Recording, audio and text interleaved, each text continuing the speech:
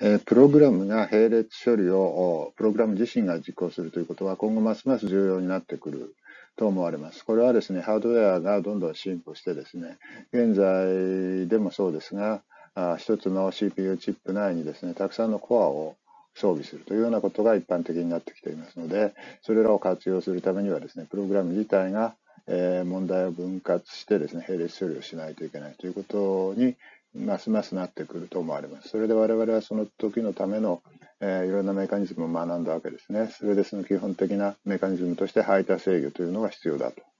でしかし排他制御にはいろいろな問題点があって、特にデッドロックや、あるいはそのビジーウェイトなどの問題を回避しないといけないんですが、これはなかなか難しい問題であると。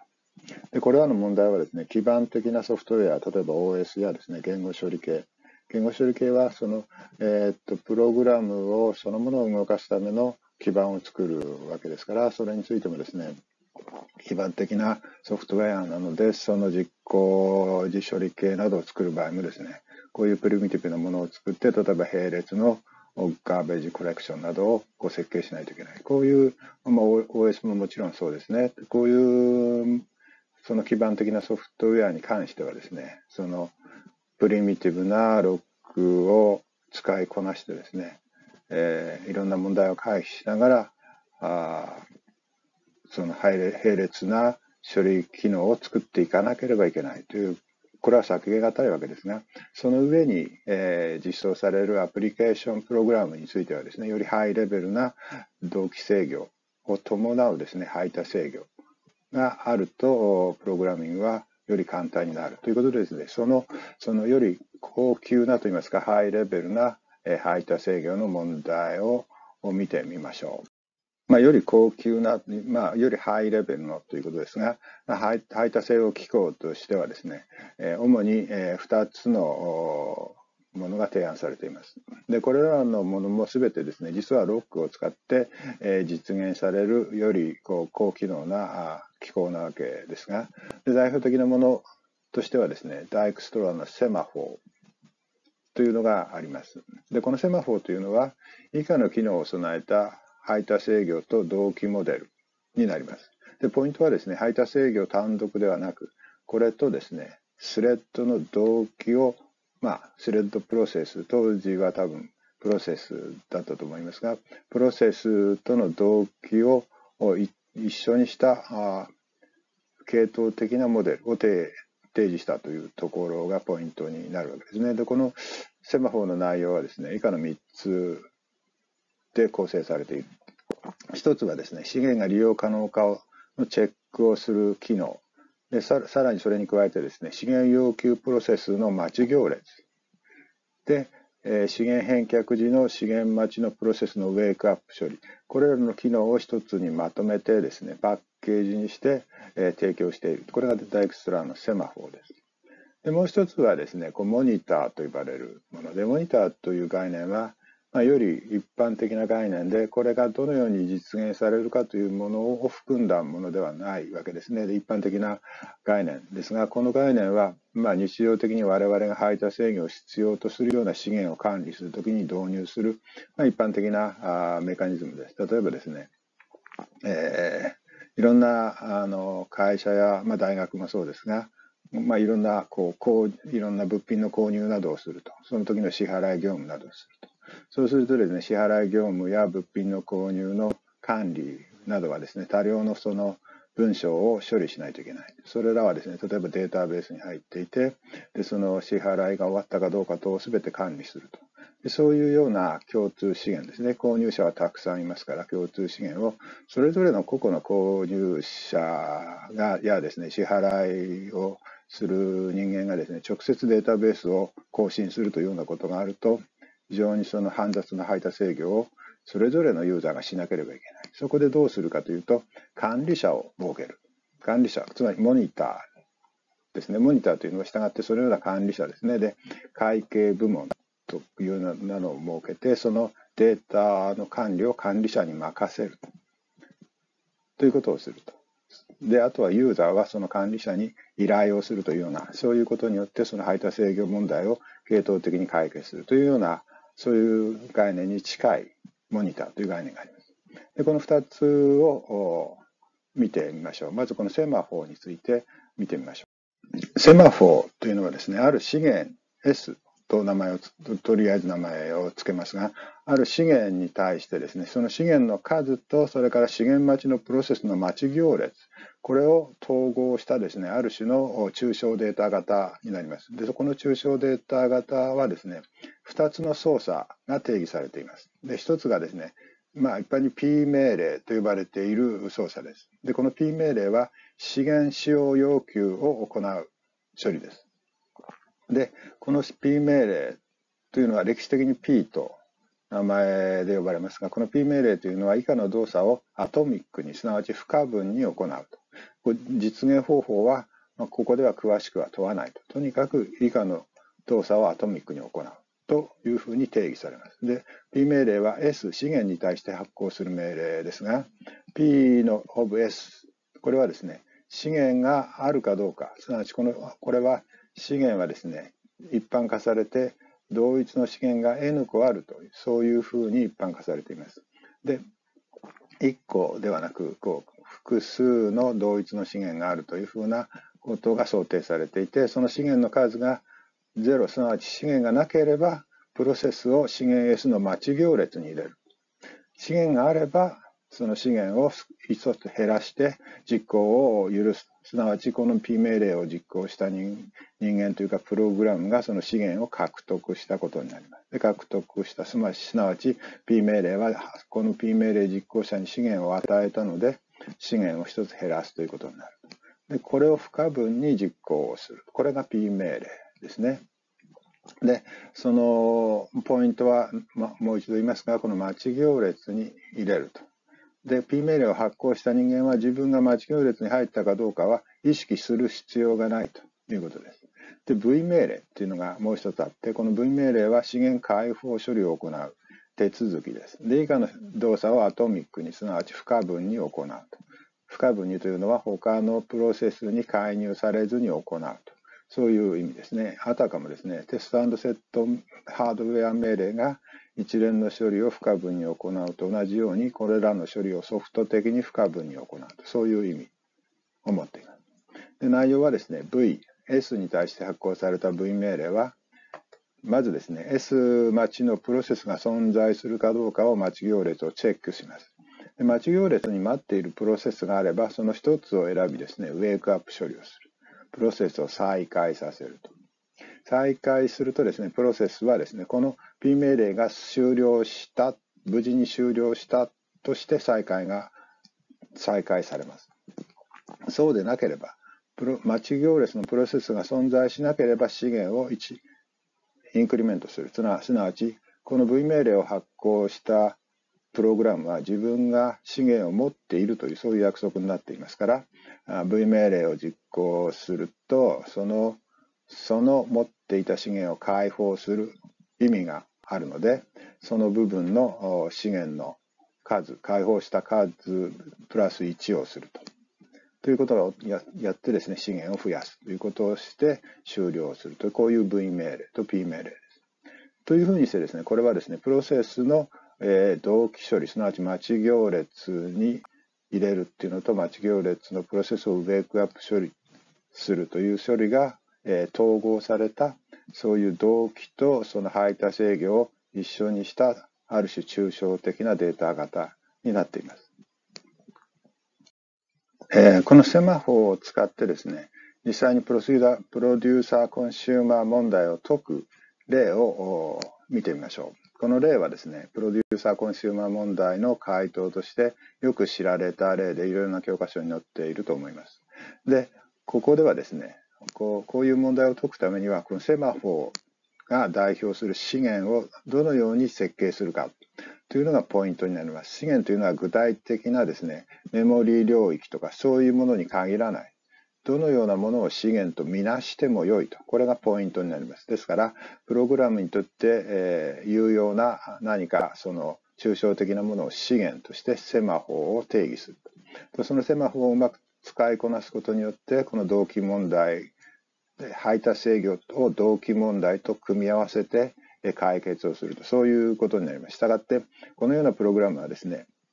問題状況、どのような問題かというのを把握して設計する。それがポイントになります。すなわち、何を、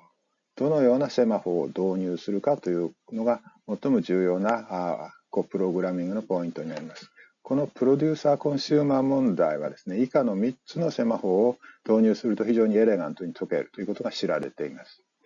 最初のセマホ。で、このセマホは、えー、資源がいくつであるかというのを宣言することができます。初期化時にですね、資源の数を宣言することによって使用を始めます。したがってセマホ宣言の時のイコールサインの右側にはですね、セマフォーの初期値、初期値、すなわち最初にある資源の数というのを設定するということをして使用を始める。で、この問題はですね、この以下の3つのセマホ。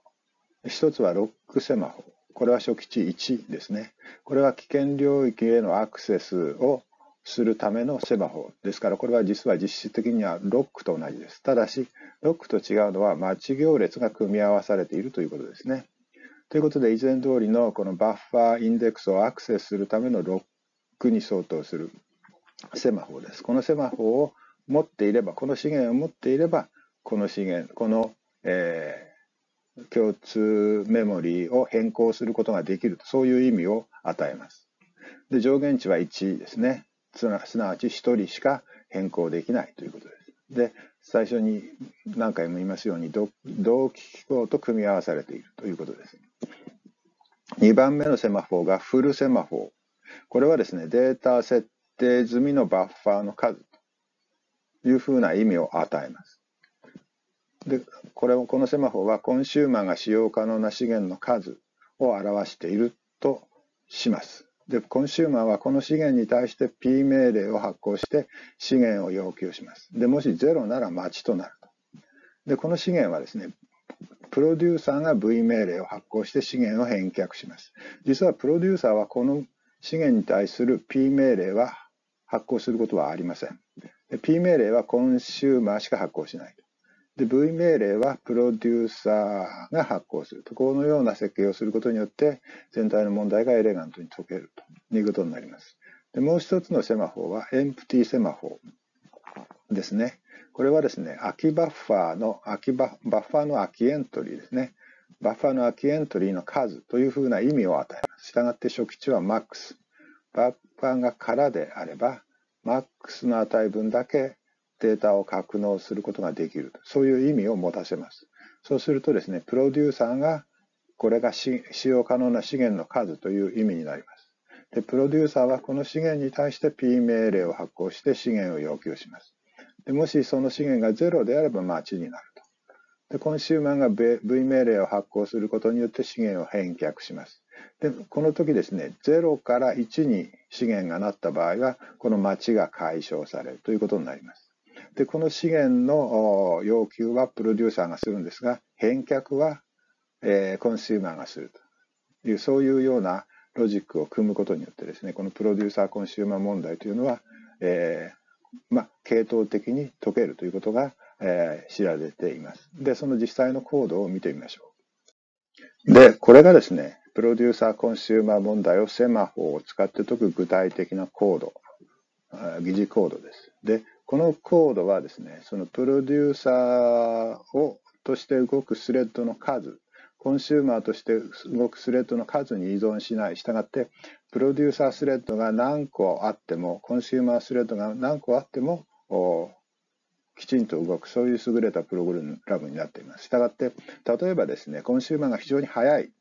処理が非常に速い場合、でプロデューサーがえ時間がかかる場合は、プロデューサースレッドをたくさん増やせば、全体的に並列度が上がって、システムが非常に効率よく動くと。そういうようなことが自由にできるプログラムになっています。で内容を見てみましょう。で、プロデューサーはこの以前と同じように無限ループをするとわけですが、無限ループの内容はですね、まずローカルにデータを生成します。ここはですね、ローカルな処理なので、どのようなことをしてもいいと。で処理が終わったらですね、データをバッファーに格納するんですが、格納するためにですね、格納領域が必要なので、格納領域を確保するために、エンプティスマホに対して資源要求を出します。この資源要求が成功すれば、この時点では必ず自分が一つの資源を持ったことになります。したがってその資源を使うために実際にバッファーに変更をかけるわけですがその変更をするための変更権を獲得するロックスマホに対して P 命令を出します。で P 命令が成功すればですね自分一人がこの変更を行っているということが確認できるので実際にこの危険領域を処理します。で危険領域の処理はこのたった2行だけなのですぐに終わってロックを解放します。開放した後ですね、これでそのデータが格納されました。そうするとデータの数が1個増えるので、フルセマフォーに対して V 命令を発行します。というふうにするわけですね。で、コンシューマープロセスはその逆といいますか、そうついで、まずですね、コンシューマープロセスはデータがないといけませんから、データを要求するわけですね。すなわち、データを要求するというのは共通バッファーからデータを取り出すわけですが、その取り出していいということをこう書くという状況を確保するためにですね、フルセマホーに対して P 命令を発行します。すなわち、フルセマホーが持っている資源を1つ確保します。これが成功すればフルセマホはゼロではなく、しかもそのうちの一つは自分専用に割り当てられているという、そういう意味がここで成立しているはずです。でその下でですね、この実際にデータを取り出します。データを取り出すのは、これは危険領域ですから、ロックセマホでロックをして、えー、ロック要求を出します。でロックセマホの要求が通れば、自分だけがこの変更をしているという変更権が確保されたことになるので、変更してよいということになって、変更、これたったこれも2行ですぐ終わるんですが、このロックセマホでデータを取り出して、ロックを解放するために V 命令でロックを解放します。その後で、この時点ではですね、データは1個減ったので、エンプティセマホに対して、エンプティセマホ返却命令を、V 命令を出しておきます。これでですね、そのプロデューサーはこの空きスロットを使えるようになったわけですね。あとはですね、ローカルな処理を続ければいい。ということをですね、これでその並列度は、ビジーウェイトもですね、それからそのデッドロックもない、非常にきれいな解決法がこう得られるわけです。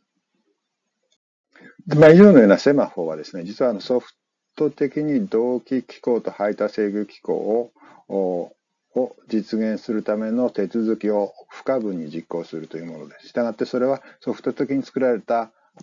プログラムなわけですね。そのその実現にはやはりですね、プリミティブなそのロック機構を使って実現することになります。そこでですね、セマホーの実現機構というのを念のため見てみましょう。セマホーは何であったかというと、数を持つカウンターと、それからその資源に対する待ち行列、このデータ構造をゲージしたものですね。それに対するその手続きが P と V という2つ ,2 つの手続きが定義されているデータ構造です。でこのカウンターと待ち行列は当然ですね、共有資源で、このカウンターをいろんなスレッド、たくさんのスレッドがアクセスをして待ち行列に入ったり、そこからウェイクアップしたりするということで共通資源になります。ということでですね、P, P 命令や V 命令は当然それ自身危険領域なわけですね。したがってこれらはロックを用いて保護をすればいいと。保護の対象はその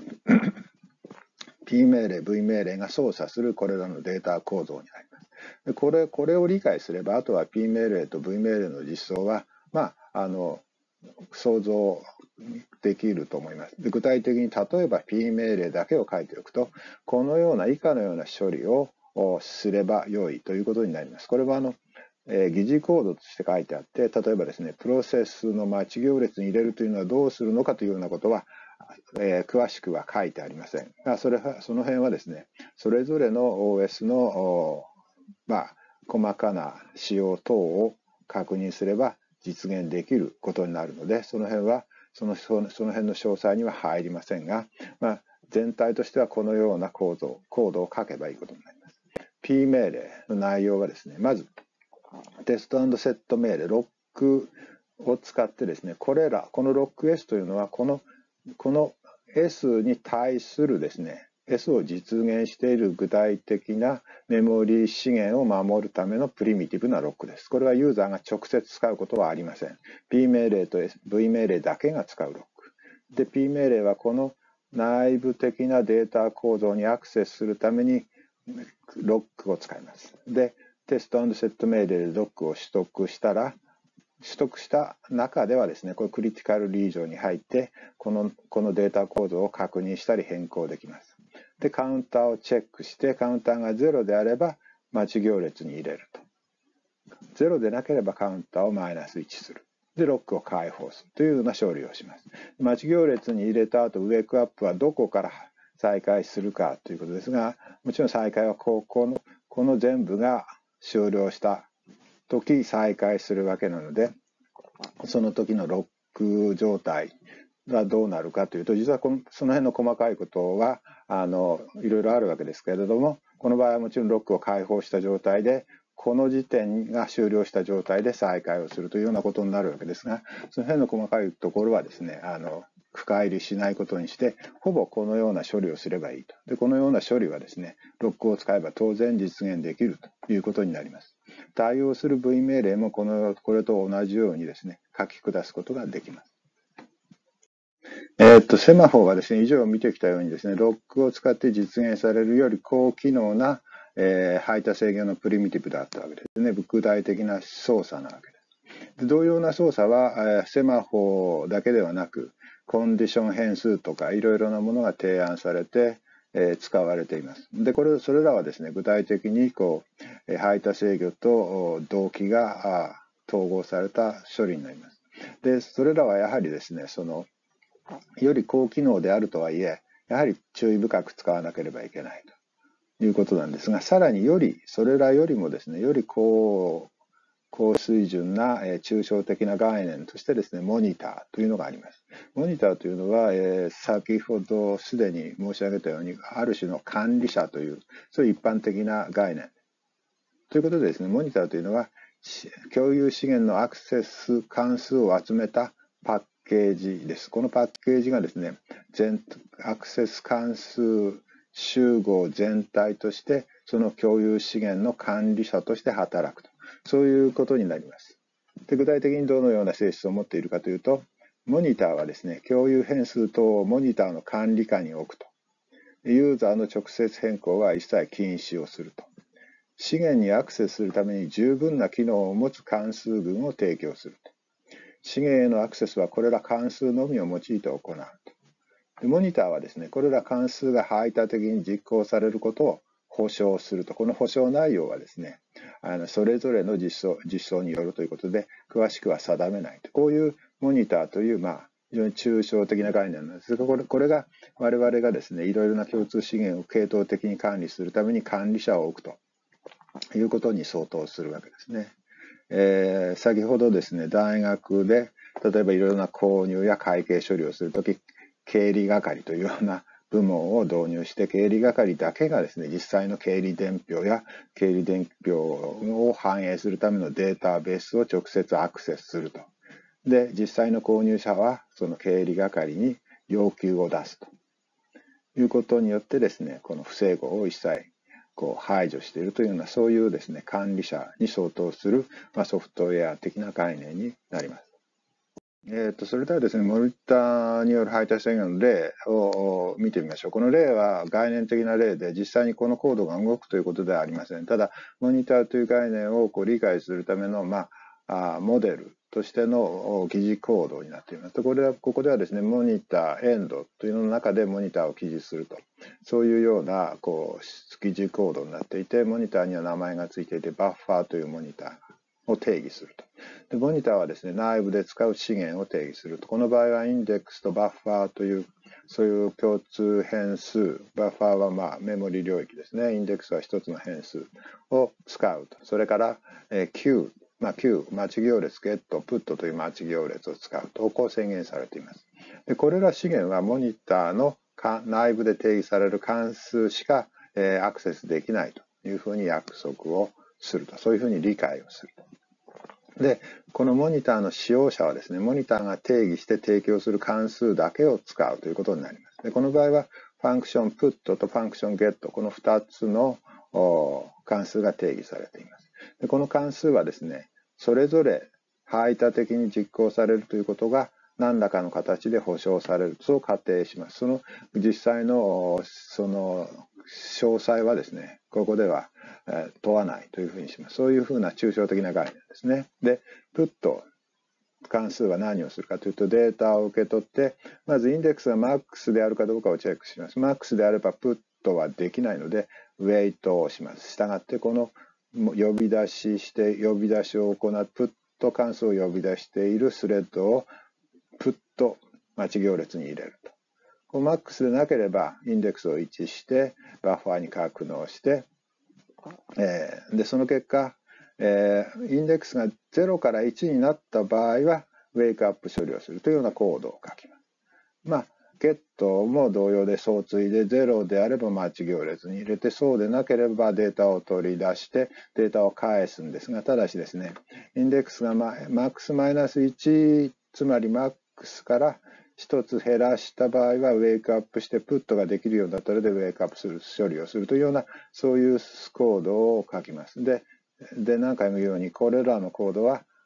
何らかのメカニズムで排他的に実行されるということを保証するというそういうことによってプットとゲットは、え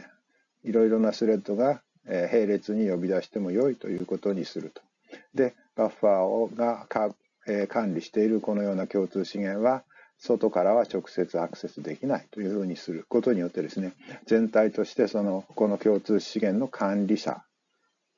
としての役割を果たす。そういう概念ですね。で先ほど述べたようにモニターと、まあ、コードのように書きましたがあれは抽象的な概念で実際にあのコードを実現するような言語というのがあるわけではありません。でモニターはそのような管理者としての機能を何らかの形で実際に実現をすることになります。でもちろんその実現はですねより低レベルな機能具体的に言えばロックとかセマフォーとかを組み合わせて実現することになりますで実現方法はいろいろ多様ですがまあ、ここではですね、最も簡単なといいますか、よく使われる例を挙げておきましょう。それはですね、モニターはこう共通資源を内部に持ち、書類要求を順に受け付けるサーバーとして実現するという、そういう方法が一つ考えられますね。で、ユーザーに対する各処理関数、まあ、ユーザーに提供する処理関数はですね、要求を待ち行列に登録するだけの処理を行うというふうにします。で、まあ、したがってその登録処理は複数同時に行われるので、その待ち行列のアクセスはロックで保護すればいいと。で、サーバーは、あ唯一のサーバーが1人だけいるということなので、配達制御はですね、当然実現されると。そういうような構造を持たせる。こうそういうようなモニターが、まあ、実現可能ですね。で、サーバーとして実現するモニターを、まあ、図式的に書けばこういうふうになります。で、モニタープロセス、これサーバーですから一つの独立なプロセスになって、プロセスはいろんな処理を内部で実行すると。で、この処理はですね、その、同時にこれらの処理が実行されるということはないと。で、これはまあ、モニターですから、あの、か一つのプロセスしか動かないと。そういうことを、そういう構造を作ります。で、この処理はですね、何をするかというと、要求待ち行列から要求を取り出して、次々に取り出して、それを処理するという形をを取ります。で、この要求待ち行列の操作関数としてユーザーにですね、関数分を提供します。で、この get、あ get や put、こういう関数は、これはユーザーが実行する関数ですから、これは並列に実行される関数です。そこでこの、これら関数は、えー、待ち行列をロックして待ち行列に登録するという処理だけを行う。このようなことをすることによってですね、マークモニターはの、まあ、実現できることになります。以上でですね、ビデオビデオ教材はすべて終了です。で、ここであの、例によって前回、実は前々回ですが、あの補足をしておきます。で前々回問い11にでですね、システムサービスを関数呼び出しではなく例外として実現する理由は何かというような確認問題を出しました。おそらくこの問題に関連してと思われますが、以下のような質問がありました。でシステムサービスの呼び出しが例外として処理されるのは、その実行プログラムに特権が必要なことが多いからとありましたが、なぜ特権が必要だと例外として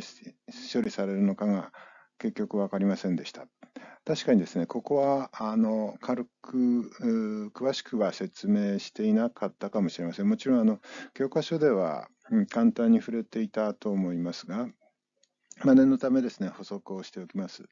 で、まずですね、補足の第1番としてですね、通常 CPU、まあ、あの特別な CPU を除けばですね、つまり、えーまあ、CPU は多数のユーザーを使って計算資源を分け分け合うと、そういう CPU の場合、通常ですね、命令実行モードというものが存在して、この命令実行モードはですね、特別なレジスターに記述されています。で命令実行モードには通常のユーザープログラムが実行するモード以外に特権モードがあります。この名前はですね、カーネルモードとかいろいろな呼び方があると思います。さらにですね、このモードには2種類以上の種類がある場合があります。例えば、えー、BaxVMS の OS、まあ、かなり古い OS ですが、非常によくできた OS で、この OS はリング上に階層的に4つのモードがあります。まあ、少なくともですね、通常、その多数のユーザーが使う CPU には2つ以上のモードがあって、1つのモードが通常特権モードと呼ばれています。でこの特で命令の中にはですね、この特権モードだけで実行可能な命令というのがあります。これはですね、ユーザーが間違えて、そのあるいろいろな重要な命令を実行するとシステムが破壊されるということが起こります。あるいは貴重な資源、例えばタイマーですとかですね、えー、IO デバイスなど、慎重に扱わなければいけないようなあ装置のへのいろんな指示、まあ、デバイスレジスターへの書き込みなど、そういうものはすべて特権モードでしか実行できないような命令になっています。そういう命令を通常特権命令と呼びます。で、この特権命令はですね、この可否は、えー、この特別なレジスターで持っています。このレジスターはいろんな名前がついていて、プログラムステータスワードとか、まあ、名前が、いろいろ名前がついていますが、このレジスターに誰でも書き込めるとですね、特権の意味がありませんから、この命令実行モードを持つレジスターへの書き込みも当然特権命令になっています。したがってですね、通常のユーザーは通常の命令を実行しているだけでは特権を獲得できません。獲得できると特権の意味がありませんからね。ということになります。で、したがってですね、ユーザーモードがあ特権を獲得するためには特別な処理が必要になります。その特別な処理がハードウェアによるコンテクストスイッチです。で、コンテクストスイッチ、割り込みと例外があります。でいずれもですね、えハードウェアがレジスタをロードします。でロードするときにですね、特権の内容も一緒にロードすると。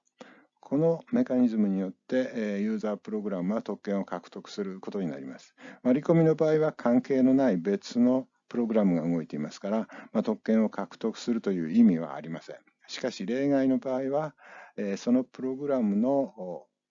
続きそのプログラムに対するサービスになりますから、その例外が起こってコンテクストスイッチが実行される。そうすると、スイッチした後のプログラムというのは、その特別な領域に書かれたコンテクストの中の特権モードが特権状態、特権がある状態にセットされていて、ハードウェアはその内容をこの、まあ、特権モードを持つレジスターに書き込む。このメカニズムによって特権が安全に獲得できるということになります。したがってですね、特権が必要なあ処理はですね、えー、コンテクストスイッチによって行われる。で具体的にはですね、例外によって行われるということになります。以上が補足でした。以上でですね、大学の授業で、えー、換算すれば、まあ、4回分の、まあ、教材を終えたことになります。そこで4回の確認テストというのを以下のように用意しました。まあ、投資番号で18問から23問まで、